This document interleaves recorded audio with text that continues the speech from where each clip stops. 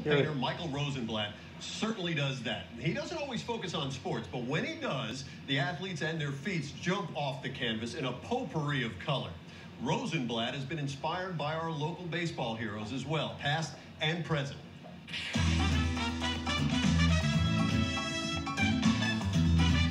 I started painting uh, in the uh, late 70s when I was um, in high school.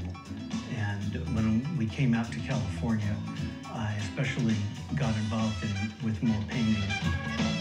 I think my style derives from energy and uh, wanting to express movement. I think the combination of the color and shapes, and whether it's abstract or uh, realism. I'm all about, you know, being your, unique, being original.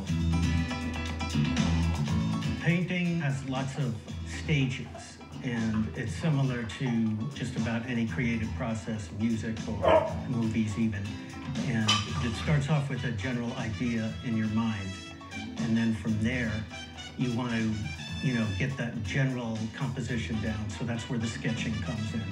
And then, of course, there's the, the colors and how well the colors blend and mix together. And so from there, I um, will then, you know, start to add detail. And then the energy starts coming together. I see it coming to life. So it's an exciting process of watching, you know, what is in your mind come to life on in reality. So what makes sports a perfect muse for art?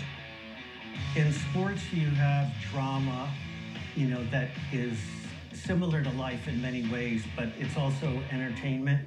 There's an energy not knowing what's going to happen, that the unpredictable nature of sports, that excitement, that suspense, you know, you don't have it in a lot of things that where everything is laid down. In sports, it's very much, each game is completely different from the other game. And that's the beauty of the, the human form and the athlete, you know, that performs at the very highest level. So I think in sports, there's a tremendous avenue for art. Michael found inspiration for one of his masterpieces in the passing of Mr. Padre. Uh, I painted the Tony Gwynn painting shortly after the passing of Tony Gwynn, and it, I wanted a tribute to, to Tony Gwynn that would be fitting of the effect that he left the city of San Diego. Having it not just, you know, be a home run, but having the home run ball leave the stadium and go into outer space. So it's, you know, something beyond super, like superhero type of thing, not just the exactness of it, because there are some imperfections. It's the energy and the emotion that I was going for so that um, people would feel that excitement. Michael's Tony Gwynn painting is currently hanging in the San Diego State baseball locker room. Tony was the only home run painting Michael has ever done.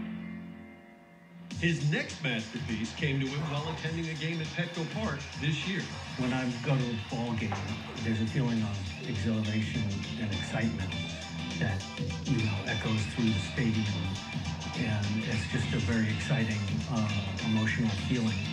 So that's the kind of thing that motivates me. A real energy in San Diego right now. I think everybody is really excited about the players we have, especially Manny Machado, and the excitement that he brings to the Padres. And I said, you know, it's time to do another epic uh, home run style painting, you know, in the same vein as the Tony Gwynn painting. So I decided, well, this time I want it to be a little different. I wanted it to be during the day and then have the original Padre colors of the brown and the mustard yellow, you know, and that unique color blend, you know, that gives Padres a certain something, you know, that's original in uh, in baseball. And of course, the new stadium and just the excitement that um, people feel when they go to Petco Park. Just the whole Padre feeling, you know, with the park, Petco Park, and uh, the excitement, and I think the um, ever-improving uh, Padres.